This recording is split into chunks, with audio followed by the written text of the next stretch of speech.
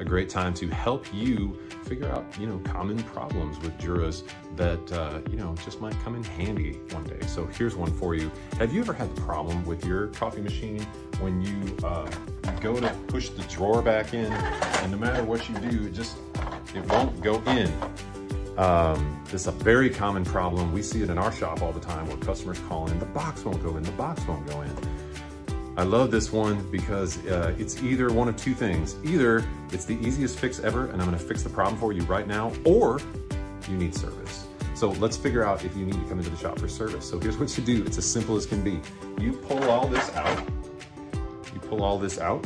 And so we have our drawer, tray, box. This is the box and the grid. Let's just go ahead and take the box out. And we're gonna go back in the machine.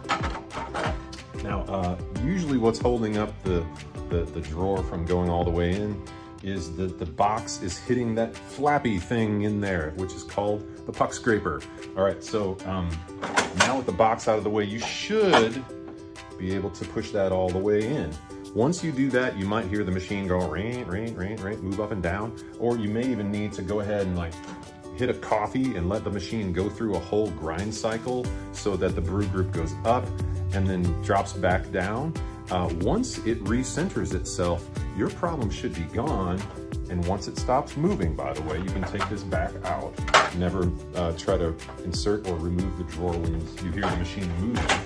Once that goes back in, you should be able to slide that all the way back in and you can be thanking me that you're back in business. Or that doesn't solve your problem, this is a common sign that it is time to uh, seek service and most likely rebuild the brew group because it doesn't seem to want to recenter uh, in the right spot so that the drawer can go in and out.